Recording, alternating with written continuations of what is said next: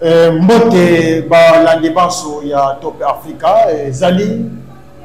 eh, ya bino mwana mboka président loba toye pamba te toye mpo tosolola toyeba mboka na biso elali ndenge nini elamuki ndenge nini me bana mboka eyambo tokota na kati ya masolo napesi nanu bambote ebele partout bozali baye bozali libanda ya mboka baye bozali na kati ya congo démocratique vraiment bambote ebele nzambe ya lola abatela bino nzambe ya lola amona misala na nini nazoprofite napesa mbote na sa grandeur le prophète konde polo dominique mbote tata ya molimo esika ozali nabosani mpe te kopesa mbote na mama safara mama mokonzi mbote mpe mama esika ozali bandeko lelo masolo eza telema makasi masolo eza makasi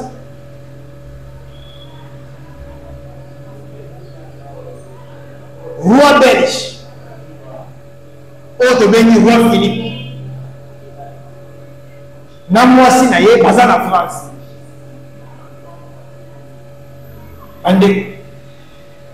vitali kamere waka ndenge ndenge aza na france tokosolola awa toyeba nini ezoleka mpe apart wana bana mboka tokolobela badepute misato trois depute oyo bafinansaka baterroriste na ba groupe armé babimisi bakombo na bango bandeko kolala kolamuka baverité ekomi kobima malembe malembe baverité ezobima tokosolola mpe apart wana tokolobela masolo oyo elekaki na angola na mokolo ya samedi soi-disant processus ya paix ya Luanda mpo basigne accord ya paix tokosolola awa Est-ce que accord yango ba signaki yango ou bien accord esignamaki te? Mpe tokoya kolobela les officiers ya armée ya Ouganda bayaki awa na mboka Lumumba bayebaki kokutana na chef de l'État Félix Antoine Tshisekedi Tshilombo basololaki Voilà bana mboka masolo ya mokolo lelo yango wana nakosenga vraiment tosabone tosabone massivement tolaike eh, topartage tokoma te mais nakosenga tofinga te bandeko na nga bakongole tozalaka meme na culture ya biso bakongole tofinga te mais tokoma te bandeko na ngai bakongole bana mboka émission ya mwana mboka président loba ezalaka vigilance vigilance na ntango oyo tozoloba oyo naza liboso na bino roi belge aza na france bandeko roi belge aza na france na mwasi na ye mpe vitali kamere oyo azali président ya assemblée nationale aza mpe na france depuis akenda nanga azongi te bandeko roi belge atambolaka pambapamba te ke bamona ye oyo oh, abimi ake mboka boye oyo oh, azwi pepo ake mboka boye ezalaka mpasi me tomoni ye na mokolo ya le 13 akitaki depuis le 13 akitaki na, na paris na france mpo akuta na emmanuel macron bandeko mpo basola nini pourkui mwa belge alongo na belgique ayembala moko epai ya emmanuel macron parce que envoyé spécial ou bien émissaire oyo union européenne atindaki mpo aya komona euh, félix antoine tsekedi tshilombo chef de l'état akende komona mpe paul kagame mpo asolola na bango oyo mokonzi ya mboka abenganaki oyo aboyaki koyamba aza belge bandeko bana mboka yango nayebisaka bino chaque jour tokutanaka tokutanaka tosololaka toyebaka nini ezoleka na kati ya mboka emisere wana batindaki ye epai ya emmanuel macron me aza belge Po aya koyebisa chef de l'etat que Fatshi Beton andima kosolola na ba M23 ba terroristes rwandais bandeko na ngai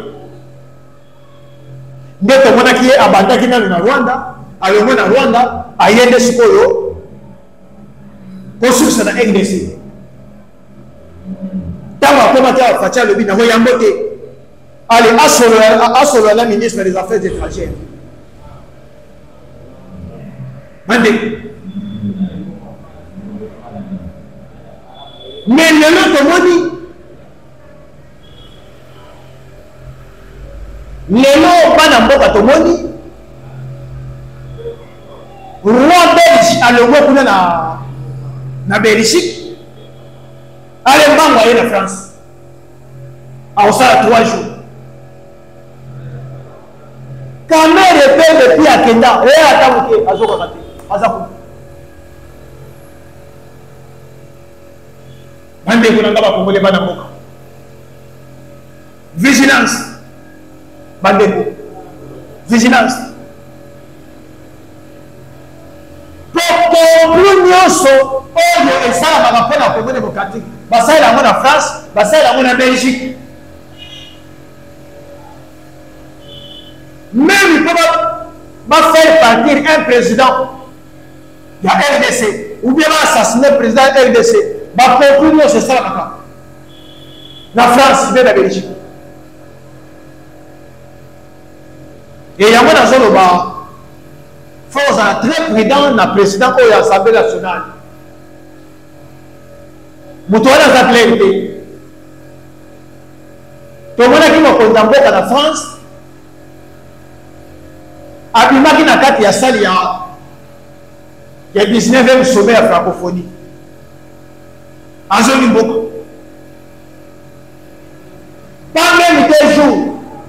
vital kame amati avion aye ake la france bandeko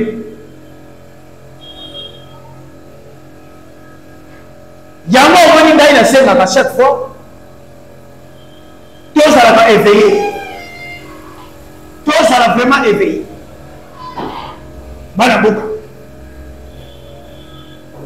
parce que biso moko ba congolais nde toza à la base ya koyeba kosekirize mboka na biso mpe kosekirize bokonzi ya mboka bandeko tala makambo ezoleka na angola processus soit disant processus ya paix Delegation ya gouvernement congolais bazalaki kuna. Delegation ya gouvernement rwandais bazalaki na Rwanda, na pardon na Angola, na Rwanda. Et na mokolo ya samedi wana masolo etokaki, masolo etokaki. esika wapi oyo kagame asili mayele paul kagame asili mayele baye me bana mboka na kosenga vraiment boyoka koseskize biso eh, bolimbisa bopardonne biso parce que na place tozali eza place moko un peu mwa commercial eh, bato mosusu baza na pembeni batie bagroupe eke mboka na biso mpe kinshasa oyebi courant ezalaka malonga te vraiment mpo na son bomeka mpe kolimbisa biso mpe tokoyeba koluka moyen to change place bandeko nayebisi bino ke masolo euti kafukafu na angola ndenge tolobaka opesi mbwa mbwa boye kolya bandeko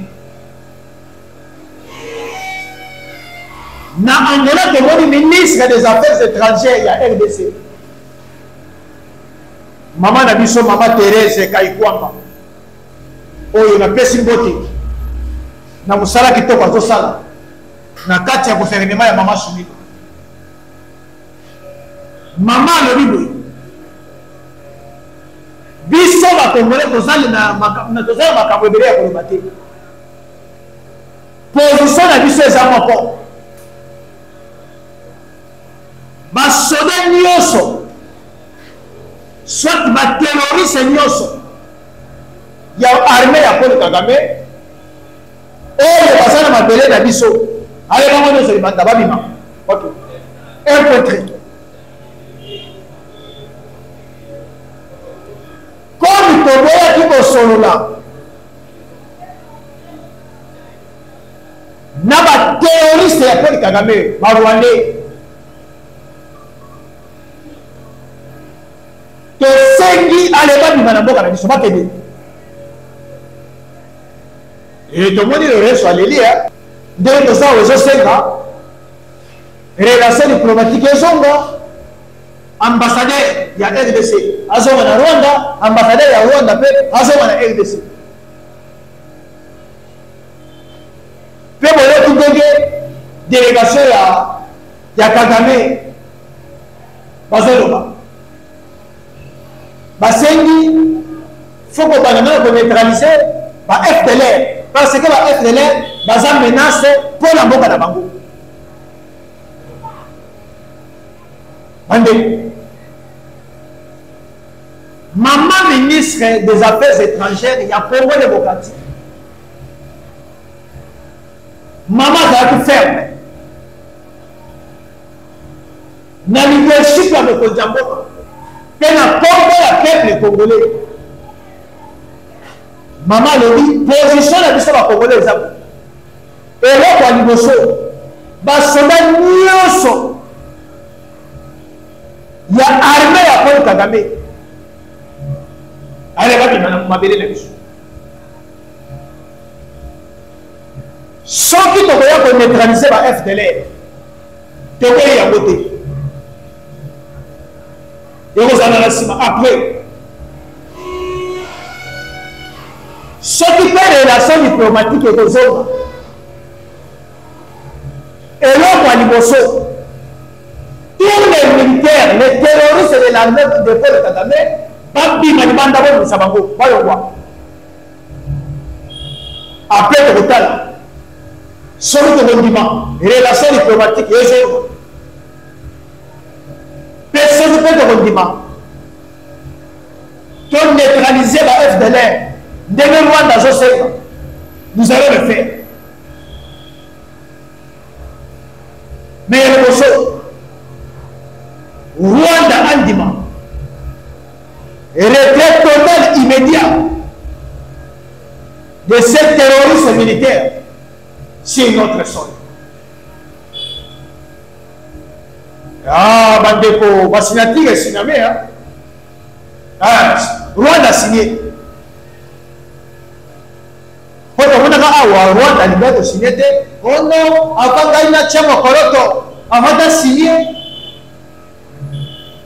ezosenga nanu toboma nani banani ba fdl parce que ba fdl baza menace mpo na mboka na biso mpe baza menace baza menace mpo na pouvoir na biso ya polo kagame biso bakongole tolobi miete tobanda nanu kobimisa basoda ya kagame babima oyo etikali tokosalama na nsima bandeko kagame eh, delegation ya kagame basilia ah. delegation ya kagame basilie batie signature lorenso ayebisi bango boyoki ndenge toza awa soki boboyi ya tour oyo boyeba te tobeta finale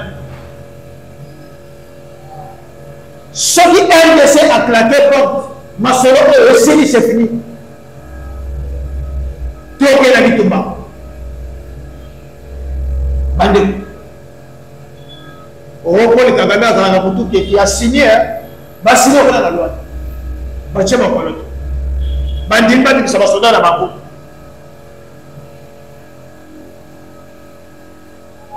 me bandeko na nga bakongole ba fdlr oyo bakomi lelo menace epai ya paul kagame soit mpo na pouvoir ya kagame mais ces gens sont de qui sont des rwandais baza ba rwandais oyo ba imperialiste les européens les américains basengaka biso bakongole tofongola couloir humanitaire bakota na boka na biso comme ba refuse ensemble na kagame lelo tala meme baeuropéen na baaméricain les impérialistes na meme kagame balingi bapesa biso leso ya koloba ke se rwandais là on appelle aujourd'hui la fdlr sont devenus une menace pour paul kagame ande yango omoni nazosenga vigilance bandeko na nga bakongole tozala eveye vigilance tosala elei te tobundela mboka to akompane mokonzi ya mboka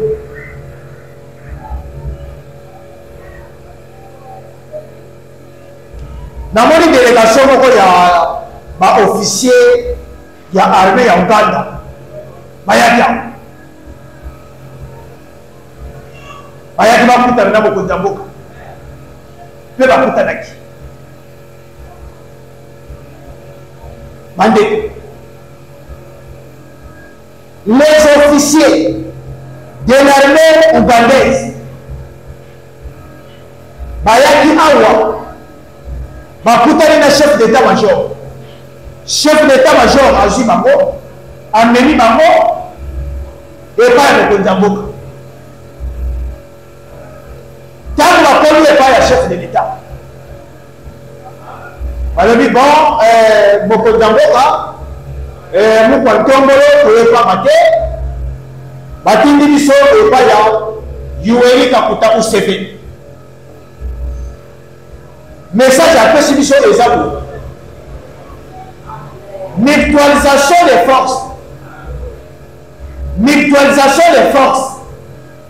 oyo tosala entre les deux pays l'armée congolaise et l'armée ougandaise mpo na kotrake baterroriste islamiste ba adf Museveni alobi boye, Relation militaire wana tokata yango te, tokata yango te, fait continuer. Mutualisation des forces entre les deux pays tokata yango te ekontinue kende liboso mpo soki tokati yango ba adf bakokende bakokende na uganda bandeko bana mboka ah, bakomi kobanga bakomi kobanga koza tomoni kagame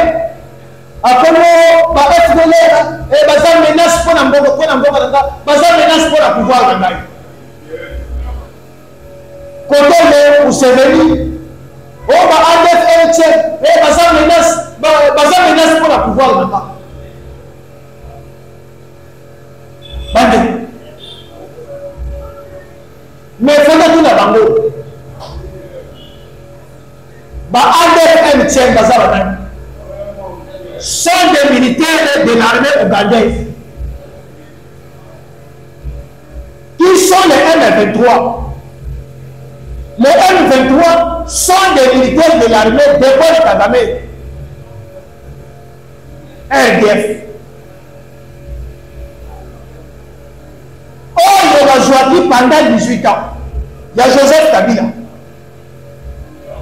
bazwaki basoda ya uganda bazwi quelque militaire ya ya armée ya paul kagame ya rwanda bamemi bango na rdc bapesi bango bakongo koto bapesi bango bakongo ba m23 koto bapesi bango bakongo ba adf Mpo batya insecurite na Congo, mpo epermettre bamboka wana l'Ouganda et le Rwanda, ensemble avec les impérialistes, bapiller bomengo ya Congo. Bandeko, lelo mwana mboka Felix Antoine Tshisekedi Tshilombo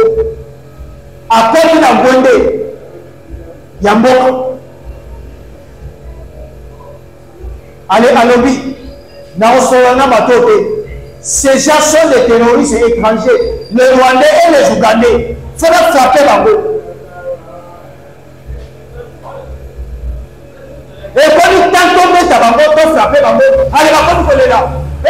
communauté eh, nationale eh, boya komi kotala eh, ba m23 baza menace mpo na biso ba adf baza menace bosone kuceteli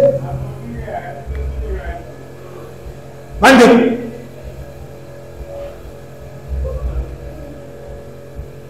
me ngai nakoloba boye na chef de l'état félix antoine tshekedi tshilombo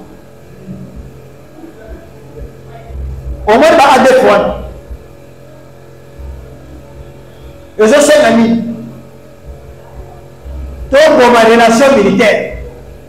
depixualisation de force entre l'ouganda et la rdc basola ya updf les ougandais bazonga na mboka na bango Comme ça biso pe totikala awa. Armée na biso et frapper ba terroristes islamistes les Ougandais.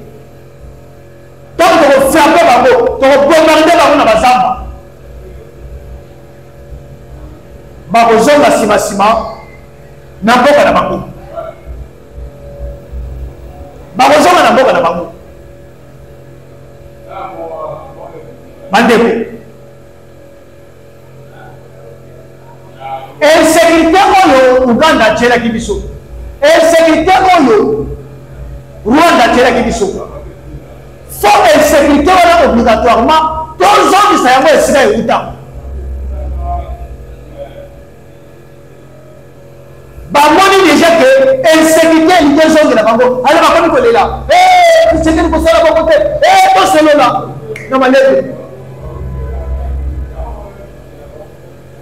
bayaki awa bayaki awa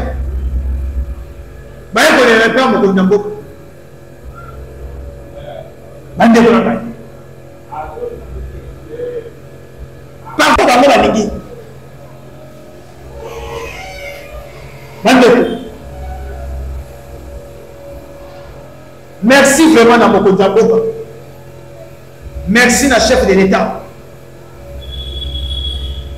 na ndenge oyo mokonzi ya mboka aboyaki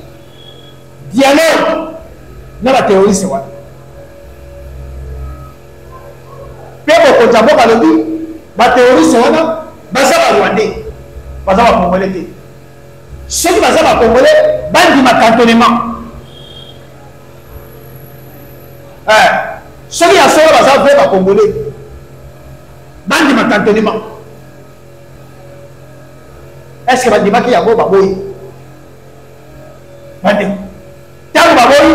mbala moko mokonzi na mboka alobi na lorenso omoni bango Ne sont pas des Congolais, sont des Rwandais. Bandeko. Et yango tomoni bawazalendo les jeunes patriotes batelemi a na ntango tozali bandeko na ngai nayebisi bino bitumba ezokundama na teritware ya rucu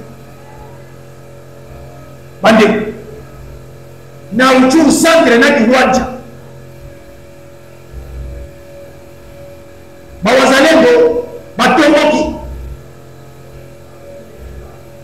mpe bitumba mosusu ezolundama awa na na petrole de masisi bandeko De terroriste ya ba M23, ba chef ya ba terroriste ya ba M23 mibale babomi bango.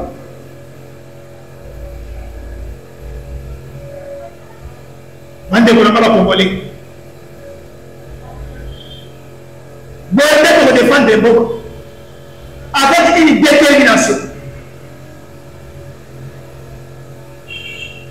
Faut donc banda koboma ba terroriste oyo étranger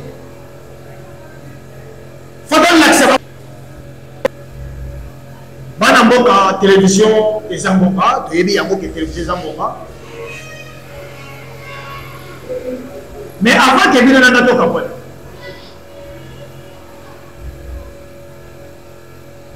badepute misato oyo gouverneur militaire ya province de lituri atangi bakombo na bango naza mpe bakombo na bango awa trois députés nationaux selon le gouverneur militaire ya province de letoni alobi badepute wana bango nde bazo kofinanse Les groupes rebelles, les Codeco et les Zaïre, mpe gouverneur militaire ake mosika ya koloba ke bazo collaborer aussi avec les terroristes et les M23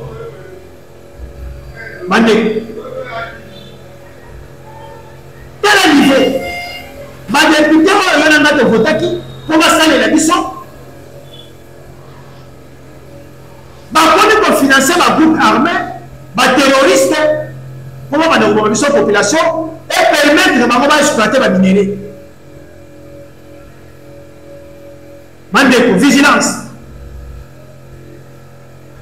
yango tomonaki bango awa kala mingi te babimaki bakangaki porte ya assemblée nationale ntango bayokaki ke prolongation de l'état de siège bango nyonso babimaki libanda e eh, biso tolingi état de siège te e eh, toboyi eumeli les autorités militaires e eh, balongwa bacivile tokota bazonga nzoka nde ezalaki eza mpo na intere na bango mpo bazongela kokoma peuple congolais baexploite baminere bandeko me ngai nasengi bo fo kokanga badepute wana bango misato comme déjà gouverneur militaire Luboya Kashama atangi ba kombo na bango. Toyoka te ke oyo baza na immunité parlementaire toyoka yango te. Faux papa. merci vraiment bandeko na ngai bacongolais tozalaki ebele ya kolanda mwana mboka mpenza loba tosabone massivement na chaîne na biso ya top africa télévision tolaike topartage